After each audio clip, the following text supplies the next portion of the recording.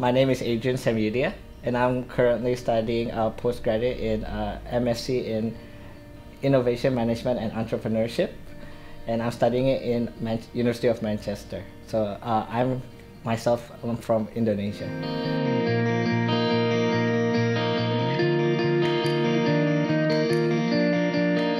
My background, I I worked at uh, an oil and gas company for seven years.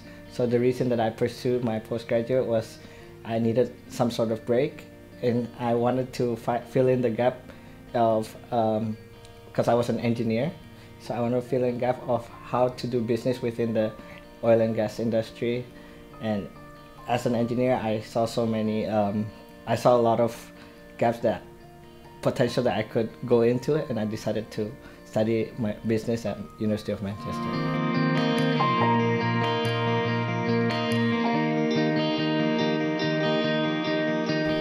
Postgraduate, uh, one of the biggest differences is that I have more time. I feel like I have more time.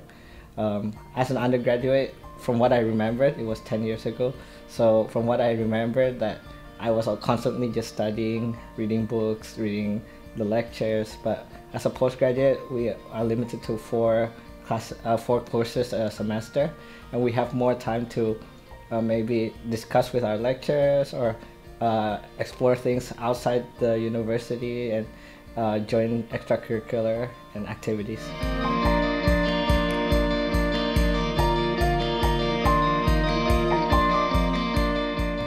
One of the reasons why I um, pursued this master's was to um, to get a knowledge of business because my background is engineering and I graduated as an engineer.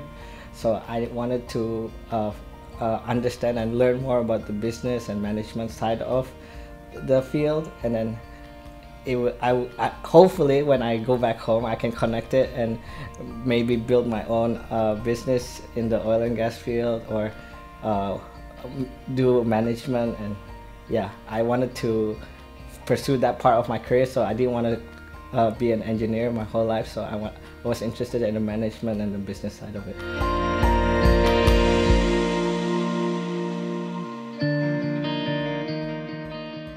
My course, uh, I'm taking a master's in innovation management and entrepreneurship. It's quite a big mouthful, right? So basically, uh, what we learn is this is one of the difference, another difference with undergraduate as well, because it's more applicable uh, cases in the classes. So we, we do a lot of case studies, definitely, and uh, we have a lot of guest speakers from the industries, which are very helpful to understand why are we learning this theory and then how are, is it applied in real life situations.